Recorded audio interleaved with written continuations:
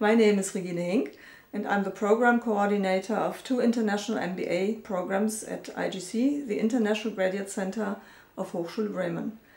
Uh, I'm also in charge of international relations of the IGC and in our international programs students have the great experience of diversity in class.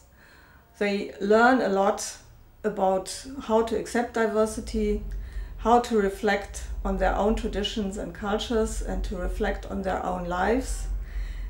And they do not only learn from professors in class, but they also learn from their classmates and from their different approaches, backgrounds, and experiences. And international programs are also a great chance for networking.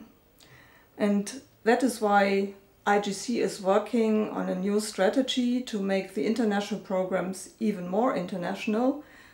And so we are in concrete uh, negotiations with universities in UK, in Turkey and in Spain, in US, Brazil and Mexico, in South Africa and in uh, Australia uh, to develop possibilities for our students to take a double degree and to have an additional international experience. And so welcome to Bremen and welcome to IGC.